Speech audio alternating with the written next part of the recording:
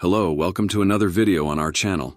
Here we translate testimonies from people who have had near-death experiences and other spiritual experiences. Today we are going to know the story of David Thompson. He says he died and came back with the mission to warn about the future. If you are not yet subscribed to the channel, subscribe now. Leave a comment with your name and city. Now let's listen to David's testimony. My name is David Thompson, but everyone calls me Davy. I was 31 when everything changed. My life was a routine of pretending. During the day, I wore a mask of normality, worked, smiled at my colleagues, and pretended that everything was fine.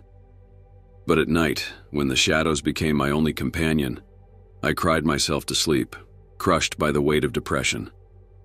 Since I was a teenager, depression was a constant presence, a shadow that followed me wherever I went.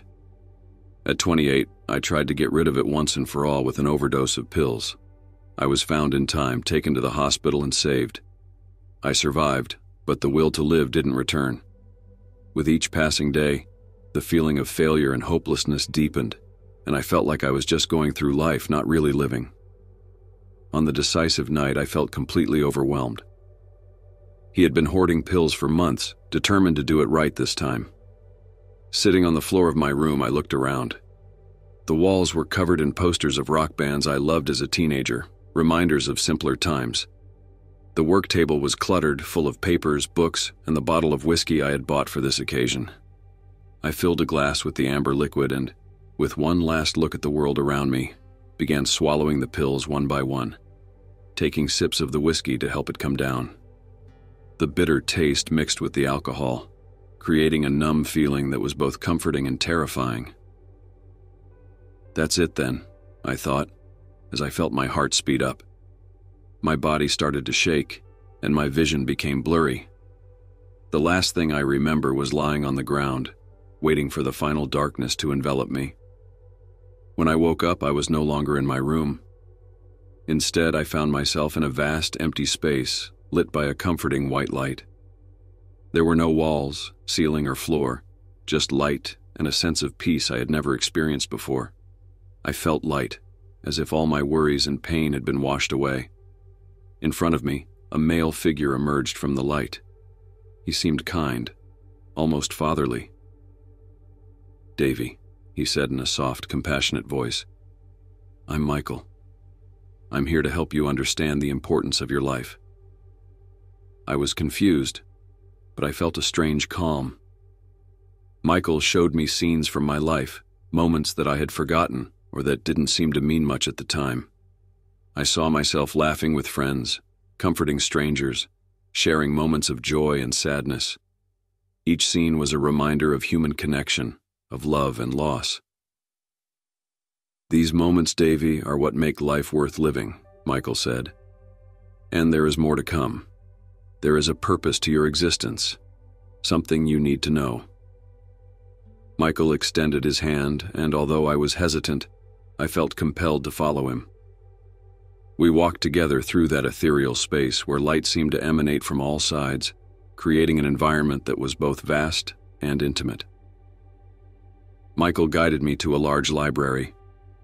The seemingly endless shelves were filled with ancient parchments, each scroll seemed to pulse with its own energy, as if it contained living stories. Each of these scrolls, Michael explained, contains a person's life. They reveal both the past and potential futures. I felt a mix of curiosity and apprehension. And what does this have to do with me? Michael smiled, a smile full of understanding and patience. You need to see what's coming. Only then will you understand the importance of your mission. He took out a specific scroll and with a gentle gesture handed it to me. My hands shook as I unrolled the parchment, feeling the ancient texture beneath my fingers. Images began to emerge, drawn with a clarity that was both beautiful and terrifying. I saw cities submerged in water, violent storms, and people in despair. The date marked at the top of the parchment was clear July 2024. What is that?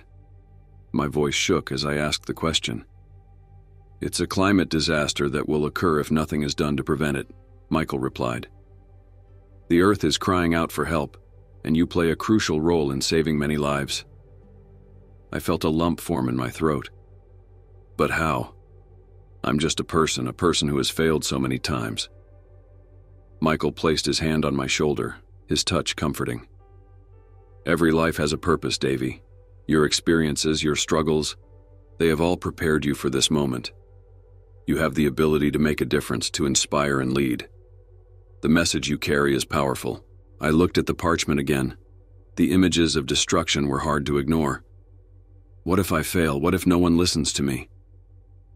You won't be alone, said Michael. You will have support, and your sincerity and passion will touch hearts. But it is essential that you believe in yourself and the importance of your message. Suddenly, I felt a force pulling me back. Michael looked at me with compassion and said, Your journey is not over yet. Return and fulfill your purpose. I woke up in my room, still alive. The overdose hadn't taken my life. Instead, I felt a sense of peace and purpose that I had never felt before.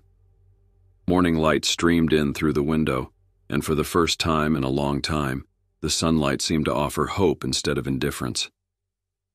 I decided to seek help, starting with my childhood friend, Emma Carter. Emma was a psychologist and always supported me.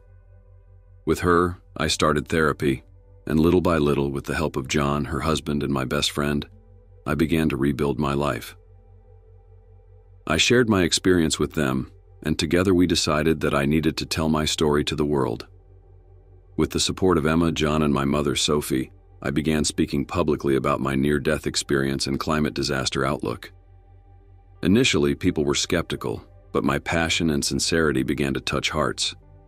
I visited schools, communities, and used social media to spread the message. The response was overwhelming. People from all walks of life have started to come together to combat climate change and protect our planet. My life gained a new meaning. I found joy in small moments and a sense of purpose in helping others. The depression was still present, but I learned to deal with it, surrounded by love and support. Awakening transformed was an understatement. Every breath I took felt deeper, more meaningful. The sunlight, which once felt like a burden, now called me out of the darkness. I knew that my first task would be to seek help from someone who has always been by my side Emma Carter. Emma was more than a childhood friend, she was my anchor. A psychologist by profession, she had a heart as big as her ability to listen. I called her, my voice still hoarse from the traumatic experience. Davy? The concern was evident in her voice. What happened? Where are you? Emma, I began, trying to remain calm. I need help. Something. Something happened to me. Can we meet? Of course, she replied without hesitation. Come to my office. I'm here for you. In Emma's office, I sat on the familiar couch, where I had shared my struggles so many times before. But this time there was a new urgency. I told her about the suicide attempt, the near death experience, and the vision Michael showed me. Emma listened intently, her expression a mix of shock and empathy. Davy, she said softly, this is unbelievable, but it's also incredibly important. We need to find a way to share this with the world. Emma helped me structure my thoughts and message. We knew more support would be needed, so the next person I reached out to was John, Emma's husband and my best friend. John was a firefighter, a man of action and courage, always willing to help. We met at their home, a place that has always offered me comfort. John hugged me tightly, a gesture that said more than words could express. Emma told me what happened, he said, looking me in the eyes. Let's do this together, man. You're not alone. My mother, Sophie, was the last to know. Telling her was difficult as I always feared worrying her. But she deserved to know, and her unconditional love gave me the strength I needed. My darling, she said with tears in her eyes, I always knew you were special. And now more than ever, I know you have a mission. We are all with you. With the support of Emma, John, and Sophie, I began speaking publicly about my experience. Our first stop was a local school, I was nervous, but Emma and John were by my side, giving me courage. The students were curious, and some were skeptical. I told them about my battle with depression, attempted suicide, and near death experience. When I spoke about the climate disaster, the room fell silent. I know it sounds incredible, I said, but I'm here to share an important message.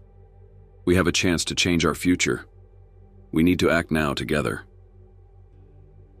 The response was mixed at first, but my sincerity and passion for the cause began to touch hearts. The questions began to arise, and with each answer, I felt more confident. Over time, our message began to gain traction. We used social media to expand our reach, and soon, people from all walks of life began coming together to combat climate change and protect our planet. Environmental organizations, schools, and communities began to mobilize. My life gained a new meaning. Each small victory, each person touched by the message gave me a new sense of purpose. The depression was still present, but with the support of Emma, John, and my mother, I learned to deal with it. Through my journey, I have found joy in small moments and a renewed gratitude for life. The near death experience was a new beginning, and the mission to raise awareness about climate disaster gave me a greater purpose. Despite the growing acceptance of the message, it has not been an easy journey. We face criticism and skepticism from many quarters. There were those who discredited my experience, calling it the delusion of a deranged mind. Others thought it was an attention tactic, a story made up to gain notoriety. During a community meeting at a local center, I was confronted by a group of skeptics. A man who appeared to be the group's spokesman stood up and challenged me. You expect us to believe this fantastic story? A vision of a climate disaster, it seems more like an attempt to gain fame than a real concern for the environment. I looked at him, feeling the pressure of every eye in the room.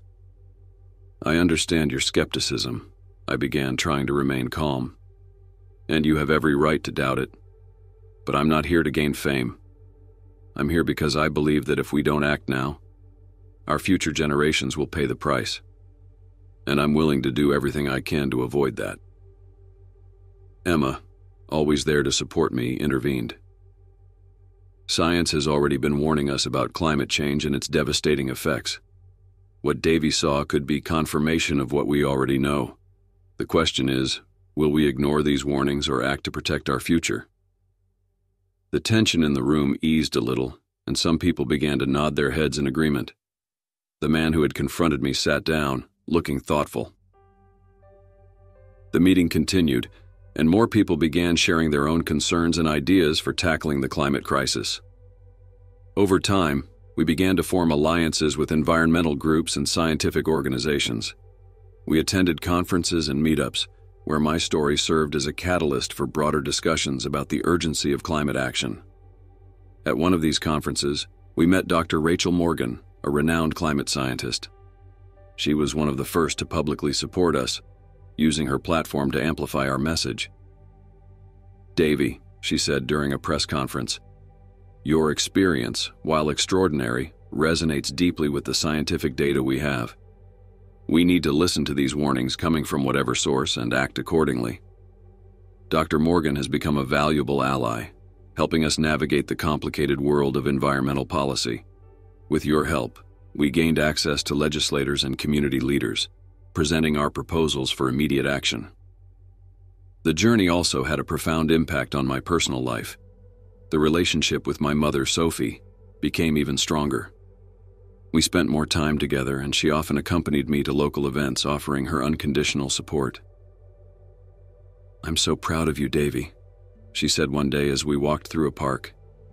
You found a purpose and are helping so many people. I know your dad would be proud too.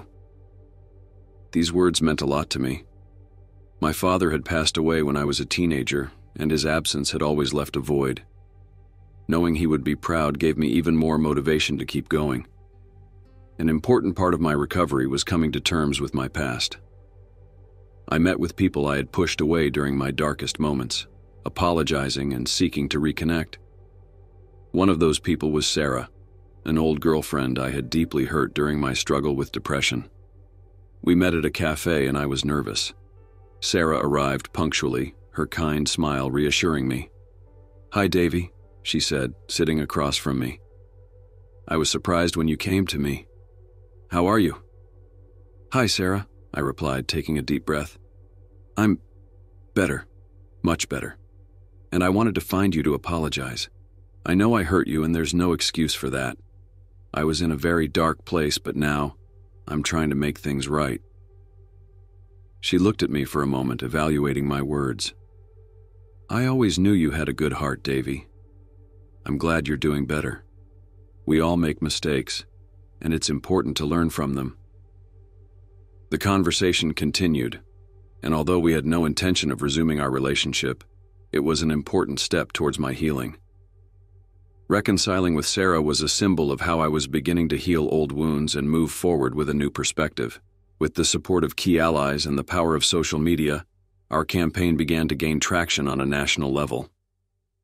We organized a series of lectures and events in several cities across the United States, expanding our message and engaging more people in the cause. On one of these trips, we went to New York for an international climate conference. The city was vibrant and bustling, a stark contrast to the tranquility of Portland.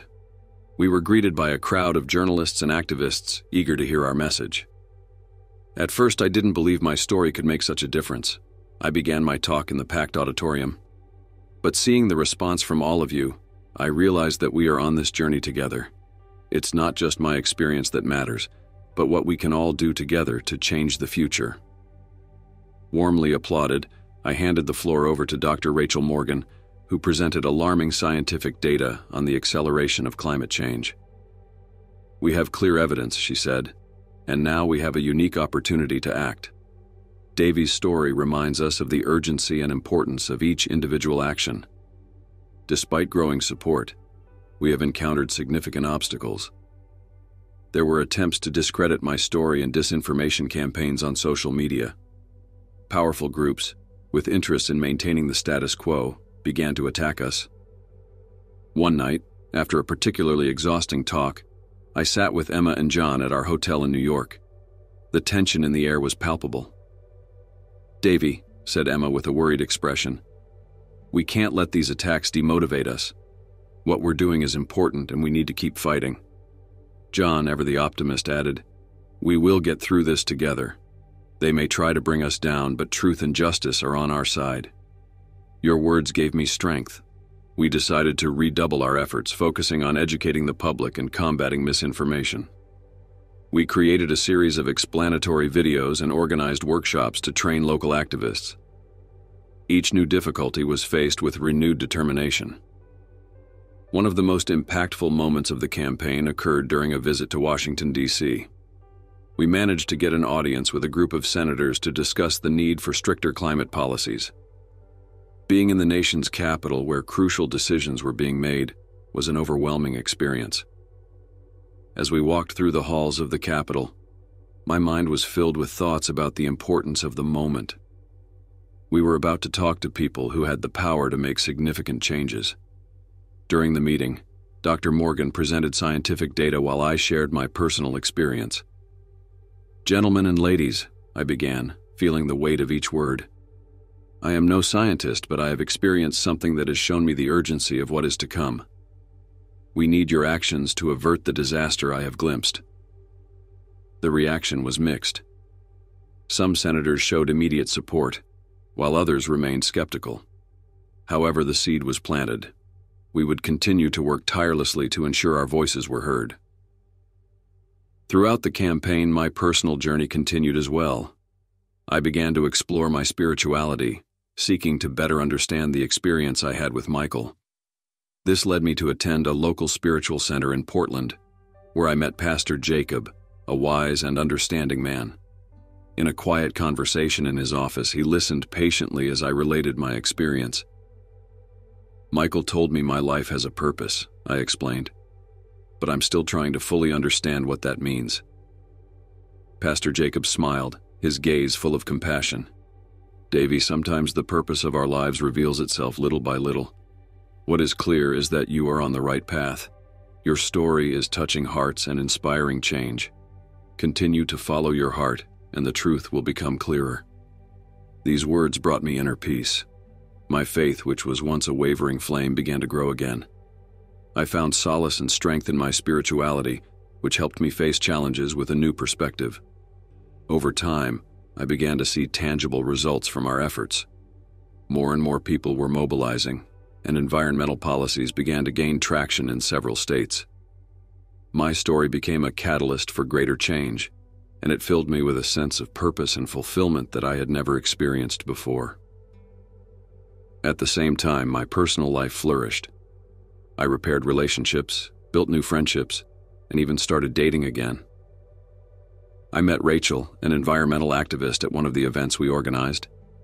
His passion for the cause and his natural kindness were irresistible. I never thought I would meet someone who understands so deeply what I'm going through, he told her during a walk along the river. You brought new light into my life. She smiled, squeezing my hand. We're in this together, Davy, and together we can make a difference. My mission expanded beyond what I had ever imagined. We founded an organization dedicated to climate education and action, which has continued to grow. The work was hard but rewarding. Every small victory, every person we touched, reinforced my belief in the power of collective change. At an event celebrating our first year of founding, I looked at the gathered crowd. I saw faces of all ages united by a common cause. Emma, John, Rachel, my mother Sophie, and so many others who joined us along the way. It was a testament to the power of resilience, hope, and joint action. I took the microphone, feeling a deep emotion. This is just the beginning, I said, my voice firm. Together, we will continue to fight for a better future. Each of us has a role to play, and it is our responsibility to ensure that future generations inherit a healthy and sustainable planet. Applauded warmly, I felt a wave of gratitude.